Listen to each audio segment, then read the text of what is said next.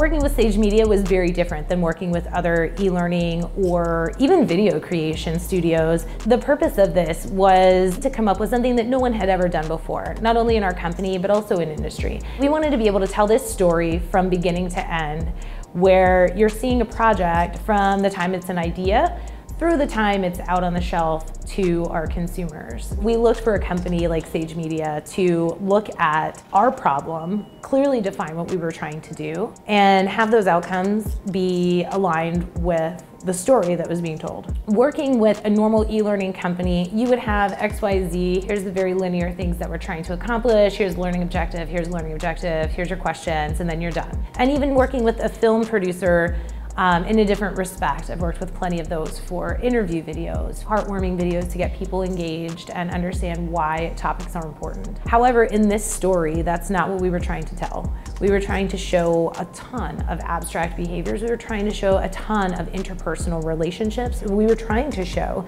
how complex a project is in the real world. And through working with Sage Media, they were able to bring their background and all of their expertise in both behavior change, in learning principles, in film production, in storytelling, brought all of that stuff to the table and were able to help us take all of our crazy ideas and put them all together into a package that actually achieved what we were looking for. And in terms of achieving that through the vision that we had that was kind of shared with those aligned goals, I think we nailed it because we had that behavior change before people left the room and we had that discussion that was candid and people people felt okay talking about behaviors that others had that might not be modeled properly. I mean, you don't really get that from an e-learning, but ours was really to go to that next level and have people see these abstract situations and be able to take that and apply it to their everyday job.